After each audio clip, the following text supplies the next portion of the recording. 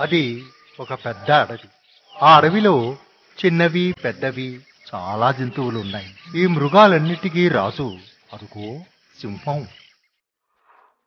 ఈ అడవిలో దీని పని ఏమిటంటే బాగా జంతు మాంసం తినడం తిరగడం.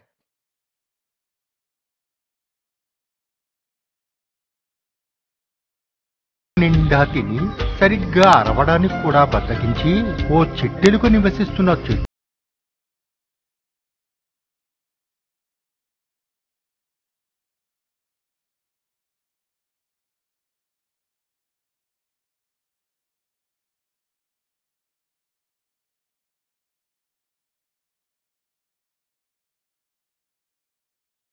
చెరపట్టింది చిడలుగా నీవు నా కాలి పంచా ఘోరంగా లేవు. నీవు నా మీదకెక్కి నీ ఇష్టం వచ్చినట్లు ఎగురుతావా?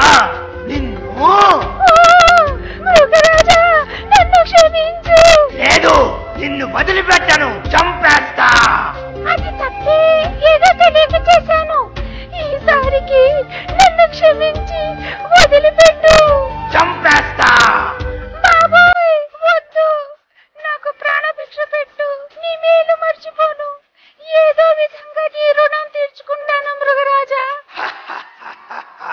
పిచ్చి చిట్టలుగా నీవు నాకు మేలు చేసేదవా?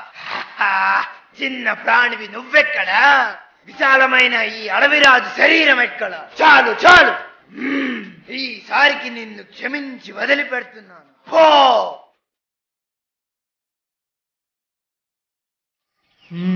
ఈసారి తప్పకుండా పడుతుంది. ఇంత చేసిన తర్వాత పడకుండా ఉంటుందా? మళ్ళీ వద్దాం పదా. ప్రతిసారి విసిగిపోయిన వేటగాండ్రు ఈసారి కొత్త పద్ధతిగా ఏర్పాటు చేసి వచ్చారు.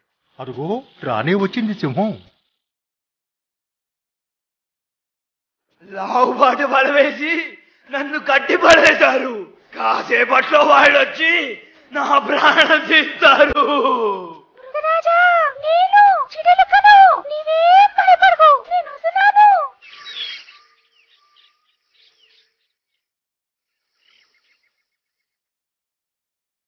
లేదు నీవు చావడానికి వీల్లేదు నీకు నేను సహాయం చేస్తాను నీ వల్ల కాదు. మృగరాజా నీవు నాకు మేలు చేశావు. నేను మర్చిపోలేను. నీ రుణం తీర్చుకునే అవకాశం నాకు చిక్కింది. నన్ను విడిపించడం మాటలు కావు చిట్టెలుగా విడిపించి చూపిస్తాను. భగవంతుడే నాకు ఆ శక్తిని ప్రసాదించాడు. చూడు.